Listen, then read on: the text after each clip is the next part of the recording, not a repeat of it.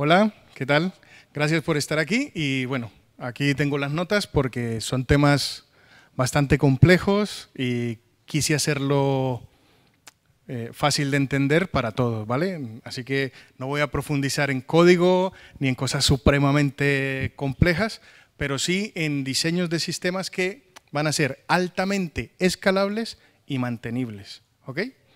Entonces, vamos a seguir. Pero primero, ¿sabían que según WebLaser, el mercado está liderado ampliamente por WooCommerce? Eso es algo interesante, ¿no? Y aquí me surge a mí una pregunta bastante guay, que es, ¿por qué o qué es lo que hace a WooCommerce tan, tan, tan popular? Pero antes de eso, permítanme y me presento.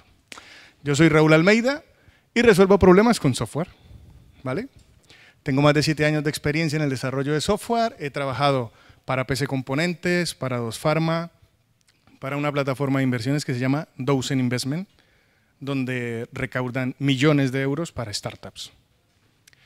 Soy fundador de RDG Solutions, donde hacemos software a medida, ¿sí? específico, código puro y duro para todos, y desarrollo y diseño de APIs, obviamente personalizadas con código, Migración de aplicaciones y sitios web a la nube de Amazon, AWS, ¿sí? donde es ampliamente escalable cualquier tipo de negocio. Y hacemos mantenimiento y soporte de software. ¿vale? Entonces, reflexionemos un poco más sobre esta estadística. ¿no?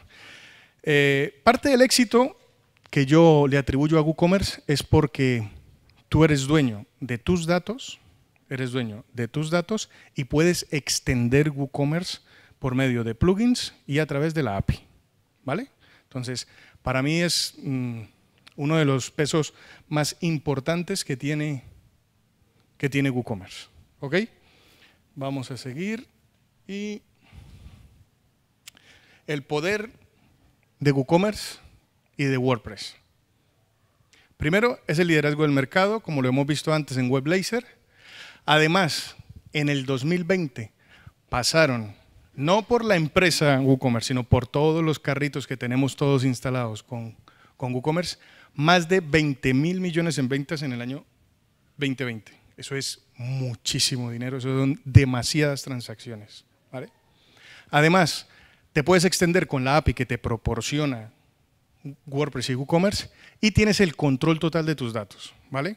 Tú eres dueño de tus datos, no estás capturado por un pago mensual ¿sí? a herramientas externas que cuando dejas de pagar o cambian su política de precios, pues afecta directamente tu bolsillo. Como es tuya, tú eres el dueño, tú puedes hacer con ella lo que quieras. Hablemos un poco más sobre la extensibilidad con APIs y el control de los datos. Entonces, con las APIs podemos añadir nuevas funcionalidades y mejorar la experiencia del usuario y del ecosistema de negocio. Porque no olvidemos ¿sí? que son negocios, al fin y al cabo. Tenemos colaboradores, tenemos usuarios y clientes. ¿Sí? Esto es un negocio que, y necesitamos que sea más fácil para nosotros. Y cuando eres dueño de tus datos, no dependes de terceros, puedes eh, tener la información que tú quieras en el momento que la necesites, de forma rápida, certera y puedes tomar mejores decisiones más rápido. Todo muy bien, ¿no? Pero ¿qué significa API? ¿cierto? Porque he nombrado mucho esto de API. API. Pues API es Application Programming Interface. ¿Y esto qué es? Pues una interfaz de programación de aplicaciones. Por ejemplo, ya sé que esto empieza a sonar técnico, pero no vamos a darle inmediatamente la vuelta. Imaginemos que es como la tele. Tú tienes una tele y tienes un mando. El mando es como la API que te permite comunicarte con la tele. Tiene el botón correcto para encenderla, para subir el volumen, para cambiar el canal, ¿verdad? Pero tú no tienes ni idea de cómo está hecho eso, ni de cómo está hecha la, la tele, ni de cómo está hecho el mando, y tú solamente sabes que tienes que oprimir un botón e interactúas con la tele. Lo mismo pasa con el coche. Una API del coche, ¿qué es? El volante. Tenemos el volante, Tú lo giras y tú no tienes que hacer un curso de mecánica para saber cómo giran las ruedas, ¿verdad? Simplemente sabemos que si lo movemos hacia un lado o hacia el otro, el coche nos va a llevar en esa dirección. Pues entonces, quedémonos con que una API permite que diferentes aplicaciones hablen entre sí. ¿Vale? Entonces, hemos pasado de no saber qué era API a resumirlo en que es una interfaz que nos permite comunicarnos con aplicaciones distintas. ¿Vale? Ok, y en WordPress, WooCommerce, ¿para qué sirve? Hombre, pues sirve para conectarnos con un sistema de gestión de clientes. ¿A qué colaborador o nosotros mismos como dueños no nos gusta tener y automatizar el seguimiento de lo que hacen nuestros clientes? Podemos también conectarnos a sistemas de facturación. Tú imagínate un mundo donde un cliente te compra, se conecta, eh, se lanza un mensaje de lo que ha hecho nuestro cliente en WordPress y en WooCommerce, eso llega a un sistema de facturación y el sistema de facturación crea la factura, te da toda la información que tú quieres e imaginemos un poco más. Y le envía aparte de eso la factura al gestor en ese momento sin tener que hacer que el cliente espere que todo ese proceso pase. ¿Vale? Otra cosa que podemos hacer es integrarnos con un, sistema de gestión de inventarios, mm, de envíos y todo lo que nosotros podamos imaginar. Y ya sé que muchos están pensando esa frase que, está ahí, ¿no? Sí, pero todo lo puedo hacer con plugins. Y yo les digo, pues comparemos los plugins con las APIs, ¿vale? Algo muy importante es la facilidad de implementación. Aquí, ¿quién ha instalado un plugin? ¿Y quién ha configurado alguna vez un plugin? Es relativamente sencillo, ¿verdad? Y de aquí, ¿quién ha construido una API? Ya muchísimos menos, ¿verdad? Sí, se requieren conocimientos técnicos, de software, de programación, de seguridad y demás cosas para poderlo hacer. Ahora, flexibilidad. ¿Cuántos hemos usado plugins con las funcionalidades limitadas? Yo creo que todos, ¿no? Todos hemos usado ese tipo de plugins. Pues en la API es totalmente personalizable, o sea, lo que digo, lo que tú eres capaz de imaginar, tu ingeniero de software de cabecera lo puede hacer. El mantenimiento. El mantenimiento de los plugins muchas veces, cuando no los hacemos in-house en nuestra empresa, dependen 100% de un tercero, del desarrollador de ese plugin. En cambio, la API, como es nuestra, el mantenimiento es propio y requiere de nuestro continuo mantenimiento y actualización. En seguridad, hombre, en los plugins la seguridad es variable, para nadie es un secreto que dependiendo del plugin, tu sitio web, tu negocio, ¿sí? tu dinero puede estar o no inseguro o seguro. La seguridad en las APIs es alta y es alta solo si se implementa correctamente. ¿Vale? Quiero aclarar eso porque alguien puede hacer una API insegura. Nosotros tenemos que enfatizar en que si se implementa correctamente mm, es muy, muy, muy, muy segura. La compatibilidad. Muchos de nosotros, o bueno, ¿quiénes de nosotros nos hemos encontrado alguna vez con conflictos entre plugins? Yo creo que muchos de nosotros nos, eh, con los temas que vienen con plugins, que los plugins no son compatibles con los que nosotros realmente queremos, que si lo actualizamos se nos rompe algo. Eso pasa porque la compatibilidad con plugins es bastante limitada. En cambio, la compatibilidad entre APIs es altamente compatible eh, con aplicaciones internas y externas. Están pensadas para eso. Para eso son las APIs. En escalabilidad está limitada a la configuración del plugin cuando usamos plugins y es muy alta dependiendo de la infraestructura con las APIs. ¿Esto qué quiere decir? Que si tú tienes una API y su infraestructura está respaldada, por ejemplo, por AWS, porque lo tienes ahí y lo tienes con un autoescalado, pues, ¿qué te voy a decir? Mismo Amazon usa esos servicios para escalar sus aplicaciones y sus APIs. Para nosotros va a ser mucho más que suficiente tenerlo ahí. En interoperabilidad. En los plugins solo podemos operar dentro de WordPress. Solo operamos dentro de WordPress y modificamos el core de WordPress, por decirlo así, o sus funcionalidades para las cosas que casi funcionan como nosotros queremos. En cambio, con las APIs permiten interacción con diversas plataformas, servicios, internos, externos, prácticamente no tienen límites. Y en performance, pues bueno, muchos plugins pueden afectar el rendimiento de nuestra web, de nuestro negocio. Y en las APIs, la automatización es adaptable a las necesidades específicas, reducen la carga del servidor donde está nuestro negocio, ¿sí? porque externalizamos todo ese proceso de cómputo fuera y obviamente es mayor eficiencia y puede escalar todo lo que queramos. Entonces vamos a ver cómo pasamos y evolucionamos desde nuestro WordPress hasta un ecosistema completo. Aquí tenemos nuestro WordPress y voy a hacer hincapié en que WordPress es una aplicación escrita en PHP con una base de datos y nosotros por lo general empezamos instalándola en un hosting. Cuando tenemos nuestro WordPress en ese hosting, así como nosotros que nos hemos aventurado a tener un negocio, pues vamos a tener que compartir todos esos recursos con cientos, incluso miles de otros emprendedores. ¿vale? Eh, esto al principio no funciona bien. Si hacemos zoom, vemos que nuestro WordPress está dentro de un hosting y compartimos los recursos con todos los demás. ¿Vale? Como compartimos los recursos con todos los demás, pues hay sitios que van a consumir más recursos que otros. Y eso nos puede afectar negativamente a nosotros. Sin embargo, eh, esto es como una analogía de lo que es un hosting. Cuando estamos solamente nosotros y al principio podemos ir muy rápido, ¿verdad? Cuando ves así la autovía, ¿vas rápido o vas despacio? Yo creo que te, te, pones a tope, ¿cierto? Incluso vas rápido cuando hay pocos coches. Incluso vas rápido cuando hay pocos coches. Pero todos sabemos que así aumentemos las vías y haya intercambiadores y demás, si hay muchos, a todos nos toca ir despacio. Entonces, aquí ya empezamos a ver las cosas que, nos pueden estar afectando.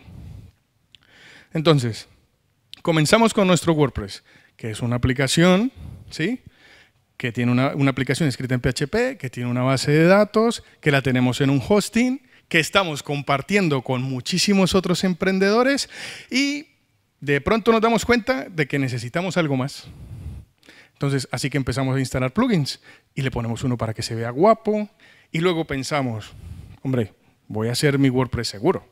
¿sí? Voy a ponerle uno de seguridad.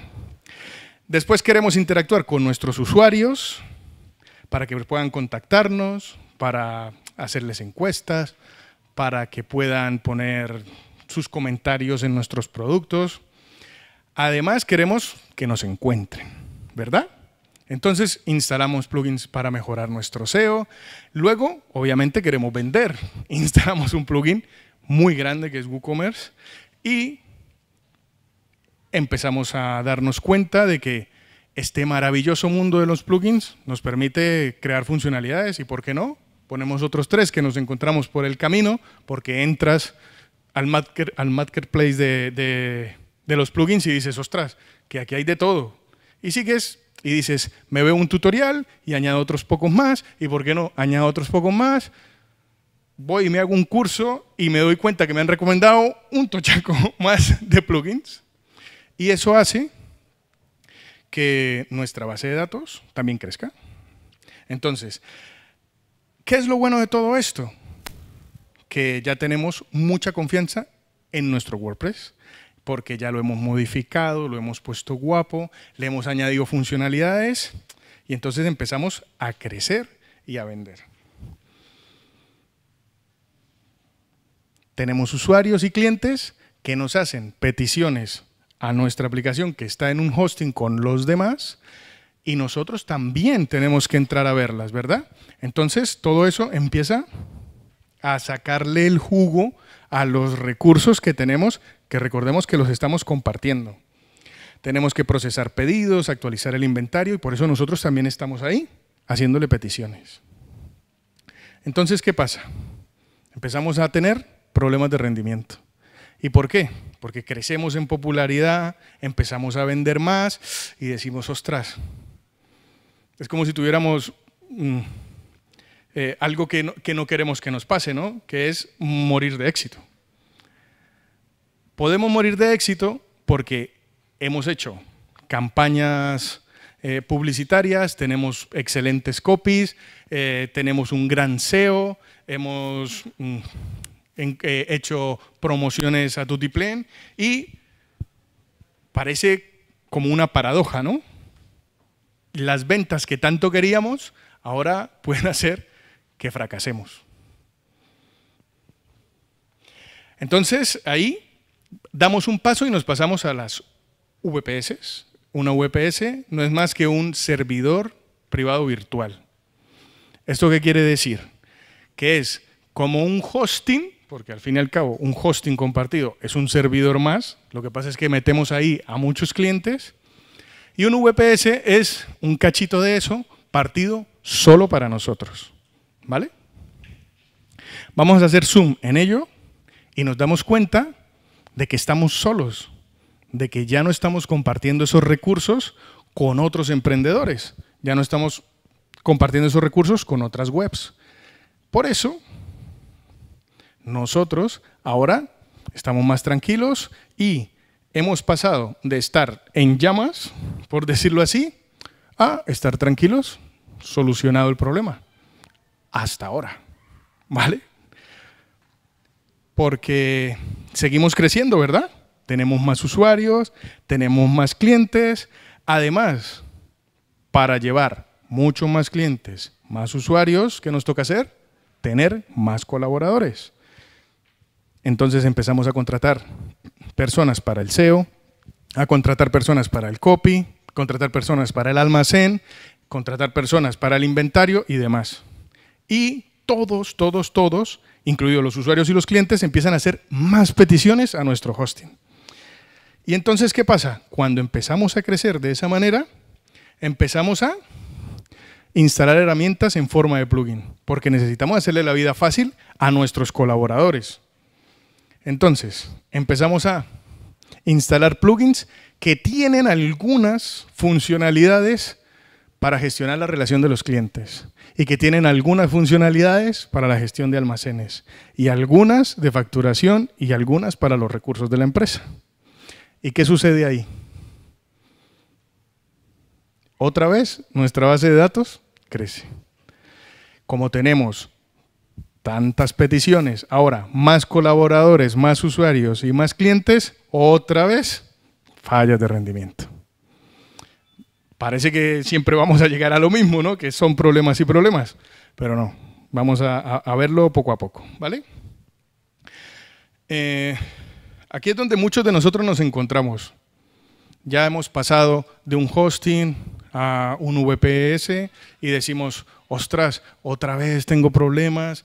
El cliente dice, pero es que ahora es súper difícil comprar aquí porque cada vez que le voy a dar a seleccionar un producto, tarda la vida entera. Pero no solo eso, ahora tenemos, imagínate, cinco colaboradores y los cinco se están pisando la manguera, porque uno quiere un informe, otro quiere escribir un post, otro quiere eh, eh, actualizar el inventario y otro quiere alistar los pedidos. Y todos lo hacen muy despacio precisamente por eso. Pero claramente hay una solución, no nos vamos a quedar de brazos cruzados para esto. Entonces, lo primero que vamos a hacer ¿sí? es ordenar esto un poco para dar espacio. Identificamos las funcionalidades esenciales del negocio. ¿Cuáles son las funcionalidades esenciales del negocio? Las que habíamos visto antes. Esos plugins en forma de herramienta que habíamos instalado, tenemos que sacarlos de ahí. ¿Qué va a pasar? Nuestra aplicación de WordPress y WooCommerce ya no va a estar en llamas porque esas peticiones de más que están haciendo todos nuestros colaboradores y esa gran base de datos que teníamos, pues ahora vuelve a ser más pequeña y nos estamos preguntando ahora, bueno, ¿y esas funcionalidades que teníamos en forma de plugins, dónde están? Pues las vamos a buscar, pero esta vez con herramientas profesionales, ¿vale? Vamos a tener CRM, RP, WMS y FMS para nuestro negocio, pero ya no van a ser plugins limitados Ya no van a ser plugins que solamente nos permitan hacer eso, sino que van a ser herramientas profesionales. ¿Vale? Son herramientas profesionales específicas, diseñadas y creadas para esas funciones. Las pongo cada una en una VPS porque es mejor siempre tener las cosas in-house porque los datos son tuyos y no dependes de un tercero que te pueda modificar las políticas de precio en cualquier momento. ¿Vale? No están capturados nuestros datos. Somos los dueños y hacemos con ellos lo que mejor nos convenga, ¿verdad? Entonces ya no vamos a usar plugins, sino que nos vamos a integrar con herramientas profesionales a través de APIs. Una API, recordemos que era una interfaz que permite comunicarse entre aplicaciones. ¿Vale? Esto es muy importante. Cada software que está ahí, como es profesional, personalizado, para específicamente tu negocio, que está hecho con código a tu medida, obviamente la vamos a desarrollar y hacer compatible con API. Organizamos esto y podemos ver cómo se empiezan a comunicar entre ellos sin tener nada que ver con nuestro negocio. ¿Cierto? Eso quiere decir que realmente hemos liberado toda esa sobrecarga que no es core de nuestra venta. Porque sí, a nosotros, para el negocio, sí, sí es importante la relación con los clientes. Sí es importante gestionar el almacén. Sí es importante llevar una gestión financiera. Sí es importante la facturación. ¿Verdad? Eso sí es importante del negocio, pero no es importante para vender. Por eso lo apartamos, lo apartamos y nos damos cuenta de que tiene todo el sentido que ahora usemos herramientas profesionales para que nuestros colaboradores cómo trabajen. Pues mucho mejor, más holgados, con toda la funcionalidad que realmente necesitan y no están limitados solo por un plugin. También nos vamos a comunicar con WordPress y WooCommerce, con nuestro negocio, con nuestra venta online. Y pueden pasar muchas cosas. Podemos ver cómo las peticiones que se hacen en nuestro WordPress y nuestro WooCommerce viajan por todo nuestro ecosistema, ¿verdad? Pero ahora tenemos que pensar en algo que ya hemos visto antes. ¿Recuerdan lo que pasa cuando hacemos muchas peticiones, que volvemos a estar en llamas. Eso es lo que pasa. Y aquí estamos viendo que todo está entrelazado. Y nuestros compañeros pueden estar usando el CRM para hacerle muchas preguntas a WordPress y a WooCommerce de este cliente cuánto te ha comprado. O este cliente compró en las últimas dos horas porque voy a sacar una oferta super flash de tres horas solamente, o cosas así, ¿verdad? Entonces, ahí está nuestra amiga Yamita, volvemos a tener problemas de rendimiento, pero tranquilos, no pasa nada, aquí hay una gran solución. Vamos a apartar esa base de datos que tiene tantas peticiones, que es nuestro negocio, porque es donde tenemos que vender, donde tenemos que actualizar el stock que vamos a vender, ¿cierto? donde tenemos que interactuar con nuestro usuario y demás. Entonces, si las apartamos a un VPS especializado en base de datos y además de eso creamos una réplica para que una sea para leer y la otra sea para escribir, ¿qué creen que va a pasar? Pues que ahora la petición va a ir muchísimo más rápido. Pero imaginemos que somos todavía más y más y más exhaustivos en el análisis, en las consultas, en las queries que el negocio quiere. Pues lo que vamos a hacer es crear una copia de lectura de la base de datos para las operaciones más costosas del negocio. Y así no comprometemos el rendimiento de nuestro servidor en donde está nuestra tienda online y es por donde entran los billetes. ¿En qué casos de uso deberíamos tener en cuenta este flujo? En casos de uso muy críticos, en los que el cliente necesite sentarse y esperar que le den una respuesta. Por ejemplo, ¿algún ejemplo? El pago, por ejemplo, es muy importante. El cliente quiere pagar y quiere recibir una respuesta cuándo? Inmediata, ¿verdad? Quiere recibir una respuesta, ya pagué. Ah, vale. ¿Sí? Esto es importante. Este flujo es necesario para hacerlo. Ahora, para llevar nuestro ecosistema un paso más allá, vamos a introducir el trabajo asíncrono utilizando RabbitMQ. ¿Ok? Esto nos permite manejar peticiones de manera mucho más eficiente. Podemos evitar el cuello de botella que veíamos antes. ¿Lo recuerdan? Que es la petición tiene que viajar por todo lo que nos, todo nuestro ecosistema, darnos toda la información y luego darle una respuesta al usuario. Entonces, primero vamos a dejar claro que la comunicación síncrona es cuando nuestro usuario está bloqueado. Él está bloqueado y no puede hacer nada más porque tiene que esperar. Y a veces parece así nuestro usuario. No nos gusta esperar, ni siquiera nosotros mismos, ¿verdad? Entonces, es, es crucial garantizar que la transacción se cumple correctamente aquí, esos son los casos de uso que tenemos que usar aquí. Que la transacción obligatoriamente debe ser esperada, por ejemplo, la de los pagos. O, por ejemplo, la autenticación del usuario. ¿Vale? Tú te quieres autenticar hoy, ahora, y quieres que te digan la respuesta cuándo. Inmediatamente, ¿verdad? Pues esos casos de uso son los que necesitamos. Y la comunicación asíncrona es la que se ejecuta en segundo plano. Tú puedes mandar un mail y tú no tienes que esperar a que ese mail sea leído por otra persona ni que llegue a la bandeja de entrada de otra persona. Tú lo envías y ya se envía, ya se enviará, ¿verdad? Entonces, liberando, con la sincronía, liberamos la aplicación y nuestro usuario continúa haciendo otra cosa. No está bloqueado esperando una respuesta. Ahora, imaginémonos que tenemos varios componentes de nuestro sistema, ¿sí?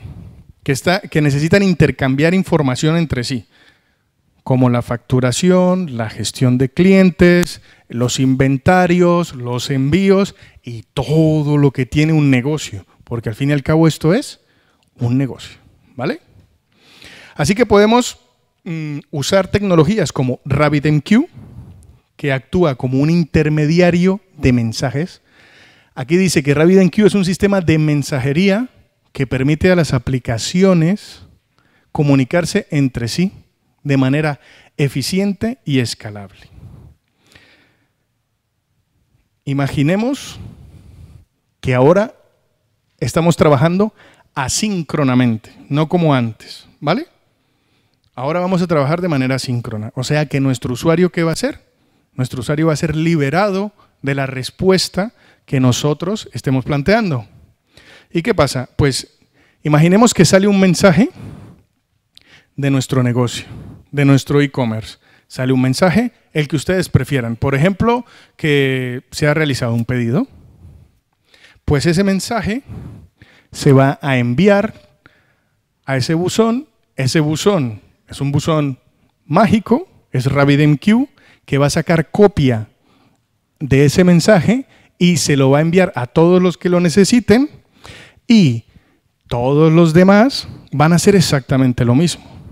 Y va a empezar una comunicación asíncrona.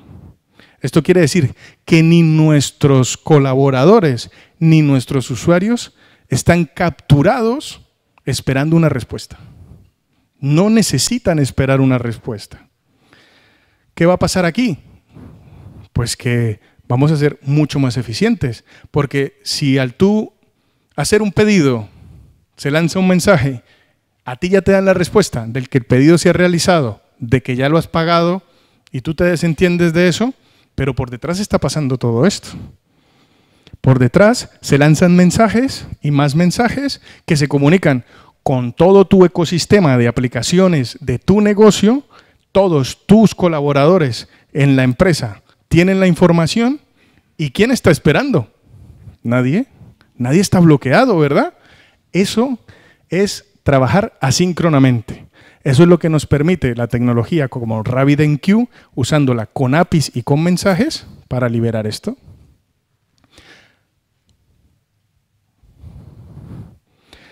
Aquí tenemos que tener en cuenta que eh, eh, no puedo representar la cantidad de millones de mensajes que se pueden procesar en un segundo aquí. ¿vale? Yo he tenido la fortuna de poder trabajar en PC Componentes, en Dos Pharma, y en un día fácilmente se pueden consumir más de 27 millones de mensajes. ¿Vale? En aplicaciones que usan más de 600 empleados a la vez. En almacenes que despachan más de 200.000 artículos por día. Si a esas empresas que facturan más de 600 o 700 millones de euros al año, yo creo que a nosotros esto nos indica que es una gran solución, ¿no? Entonces, todo esto lo podemos nosotros aplicar. Volvamos a repasar para tener claro, claro, de qué va esto. Cuando WooCommerce o WordPress o una de nuestras aplicaciones que están en el ecosistema de nuestro negocio, porque recordemos que un negocio no es solamente una aplicación, sino son muchas personas usando muchas aplicaciones que se comunican a través de APIs de forma síncrona y asíncrona. ¿Vale? Cuando empezamos no sabíamos todo esto, ¿no? Ahora hemos ido pasito a pasito viendo cómo podemos tener un sistema donde podemos contratar y tener al mismo tiempo 600 personas al mismo tiempo colaborando para que todo esto funcione y además más de 200.000 artículos diarios siendo vendidos y esto pues nos abre un mundo de posibilidades. Cuando los mensajes se empiezan a consumir, ¿sí? desaparecen y se vuelven a producir nuevos mensajes, porque mira, aquí vemos en el ejemplo que ya WordPress no está lanzando mensajes, porque lo estamos haciendo nosotros, en nuestro ecosistema interno de software, en nuestra gestión de almacenes, en nuestra gestión con nuestros usuarios y demás. Recordemos también que todo esto es in-house, es desarrollo propio, que tú eres el dueño de tus datos, de tu software y que tú extiendes, ¿vale? Y que tú mismo puedes conectar. Y vamos a ver cómo esto se traduce en beneficios concretos del negocio. Primero, al reducir las tareas que teníamos antes, ¿recuerdan cómo estaba antes nuestro WordPress y nuestro WooCommerce?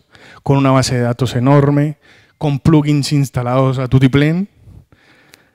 Pues al disminuir esas tareas entre diferentes componentes, además profesionales y específicamente diseñados para esto, reducimos la carga de cada uno de esos servidores.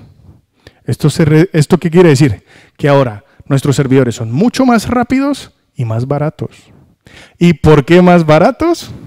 Porque no necesitamos una máquina enorme para procesar todo eso. Ese poder de cómputo no es necesario. Necesitamos servidores pequeñitos que cada uno haga una cosa y que se comuniquen entre sí. Y ya está.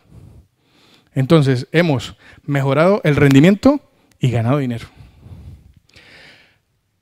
También hemos podido liberar a nuestros colaboradores, porque recordemos que antes todos luchábamos por recursos, por tiempo, por tiempos de carga, por informes, todos. Entonces, si tenemos cinco colaboradores que cada uno solamente puede ejecutar 20 tareas al día, porque depende de los demás, de esta forma no dependen de nadie pueden ser mucho más productivos.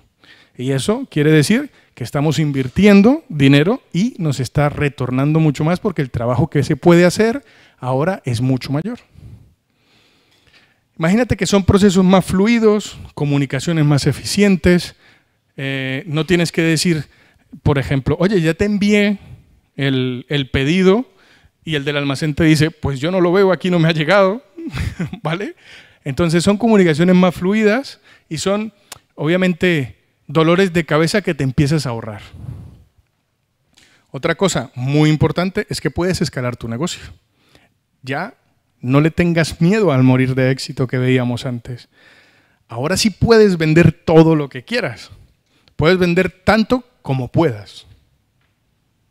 ¿Por qué? Porque ya no dependes de recursos que no tenías, sino que ahora mismo con este sistema que hemos visto antes, puedes hacerlo autoescalable y cada vez que tengas más peticiones, automáticamente crezca y luego decrece.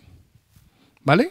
Tenemos entonces soluciones que podemos implementar en todas partes. Y, muy importante, mejora la experiencia de usuario. ¿Y por qué mejora la experiencia de usuario? Porque tenemos, ahí vemos, tareas en segundo plano, donde nuestro usuario no está capturado y puede seguir navegando por nuestra web sin necesidad de tener que esperar a que algo suceda.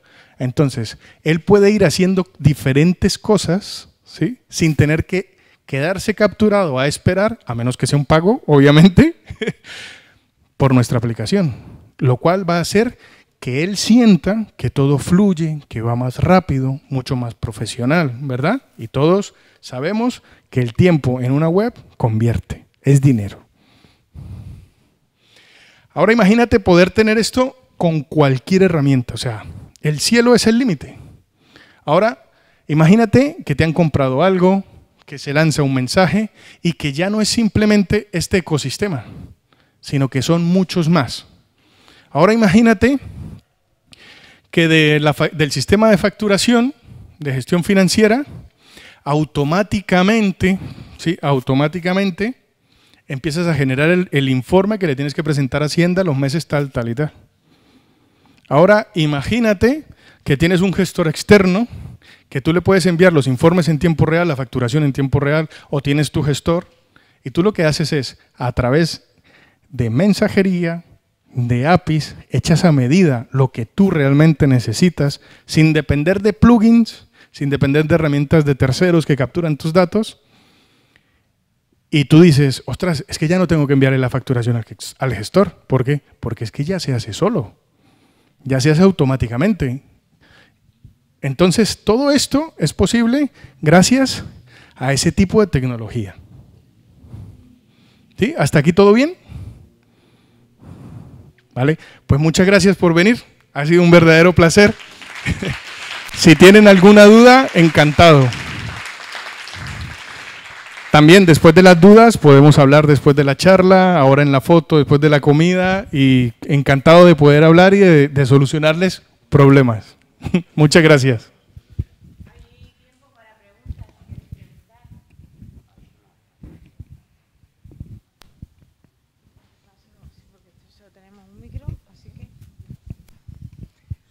Hola, muchas gracias porque yo no conocía esto y me ha parecido súper interesante. Pero yo creo que la pregunta para los que estamos en el otro lado y no programamos es, ¿y esto cómo sale de caro? ¿Cómo, sí, ¿cómo sale de carito esto? Muy buena pregunta. Esto claramente no es una solución si vendemos cinco productos al mes, ¿verdad? Esto no es una solución para eso. Esto es una solución cuando tú ya tienes mm, un negocio que realmente necesita ser manejado de una forma profesional. ¿Por qué lo digo? Porque vas a ver realmente el beneficio cuando tú tengas colaboradores que necesiten herramientas profesionales intercomunicadas para sacarle jugo a eso. Estamos hablando de que, por ejemplo, si tú tienes un negocio y tu servidor te está costando 4.000 euros, yo creo que ya es hora de plantearse esto. ¿Sí? porque necesitas un escalamiento horizontal en lugar de vertical. Necesitas interoperabilidad en lugar de un monolito. ¿Vale? Entonces, esto, más que caro o no, es una solución dependiendo de la facturación de tu negocio. No es lo mismo que tú digas, no, es que yo facturo 20 millones de euros ¿sí? al mes pero solamente vendo cinco productos. Ostras, ¿qué productos más caros vendes? Pero no necesitas esta solución porque solo son cinco, ¿verdad? Pero cuando tú dices, es que yo tengo 3.000 o 5.000 pedidos al día, yo creo que ya es buen, buen momento para hacerlo. Incluso que antes, para que cuando llegue ese tiempo sea posible.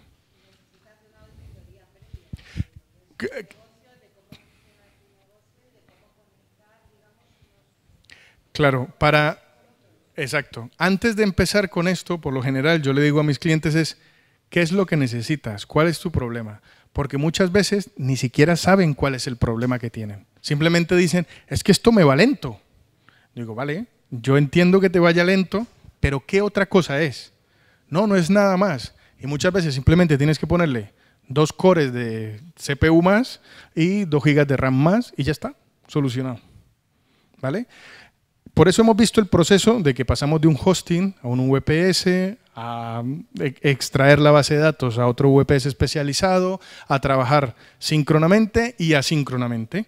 Entonces, en alguno de esos puntos, ¿sí? hay varios puntos de inflexión que debes eh, analizar antes de dar la solución. Porque sí, no es una solución barata, ¿sí? no es una solución para nada barata, pero es una solución cuando tú ya sabes que estás ganando dinero, que te está costando dinero y que a la larga la solución te va a hacer ganar dinero. Espero haber contestado. ¿Sí?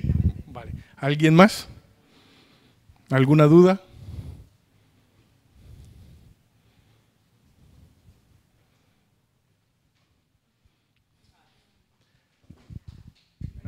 Pues nada, el que quiera, podemos hablar después de la charla también. Cualquier duda,